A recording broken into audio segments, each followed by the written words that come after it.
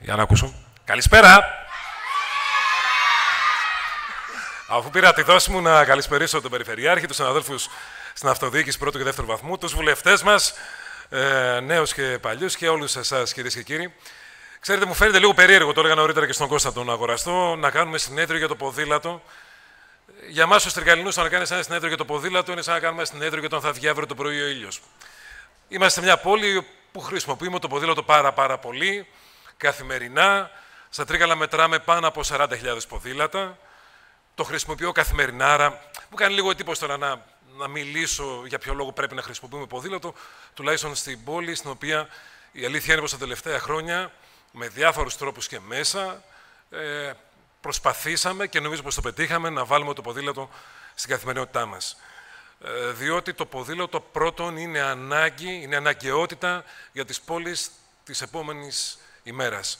Δεν είναι δά ε, τρελοί ούτε ανόητοι οι Βορειοευρωπαίοι, οι Δανείοι, οι Ολλανδοί, οι οποίοι καθημερινά κάνουν χιλιόμετρα επί χιλιόμετρων για να πάνε στη δουλειά τους, που κάνουν ποδηλατόδρομους παντού και συνδέουν όχι μόνο ε, σημεία ενδιαφέροντος μέσα στις πόλεις, αλλά συνδέουν και πόλεις και χωριά. Προφανώς αυτοί οι άνθρωποι ούτε τα λεφτά τους λείπουν, ούτε τίποτα άλλο, παρά μόνο βλέπουν σε ένα μέλλον το οποίο εμείς ακόμη δεν το έχουμε ακόμα αποσαφηνίσει, μάλλον λόγω και του έρωτα που έχουμε για το αυτοκίνητο. Είναι ξεκάθαρο και δεν θέλω να αναπτυχθώ, γιατί μετά θα μιλήσουμε και περισσότερο, ότι οι πόλεις μας δυστυχώς έγιναν για τα αυτοκίνητα. Φτιάξαμε πόλεις όλα τα τελευταία αυτά 50 χρόνια, προκειμένου να βάλουμε όσο μπορούμε περισσότερα σπίτια σε πολυκατοικίες χωρίς πάρκινγκ και για να παρκάρουν αυτοκίνητα. Και τώρα έρχεται η ώρα να συνειδητοποιήσουμε πως αυτές οι πόλεις δεν είναι βιώσιμες. Δεν μπορούν τα παιδιά μας να μεγαλώσουν σε τέτοιες πόλεις. Και πρέπει να πάρουμε πολιτικές αποφάσεις. Και να τις πάρουμε τώρα άμεσα. Έπρεπε να τις είχαμε πάρει ήδη. Και δεν είναι εύκολες αποφάσεις. Όταν στα Τρίκαλα πριν από 7 χρόνια φέραμε το λεωφορείο χωρίς οδηγό, στο Δημοτικό Συμβούλιο είπαμε ότι δημιουργούμε αυτή τη λωρίδα για το λεωφορείο χωρίς οδηγό, ξεπαρκάρουμε περίπου 100 αυτοκίνητα, αλλά μετά αυτή τη λωρίδα θα την κρατήσουμε για ποδηλατόδρομο, στην καρδιά της πόλης, μέσα, εκεί πέρα που το χρειαζόμαστε για να πάνε τα παιδιά μας ε, στα οδεία τους, στα φροντιστήριά τους, στα γήπεδά τους. Και η απόφαση πέρασε ομόφωνα. Και η κοινωνία αντέδρασε ελάχιστα.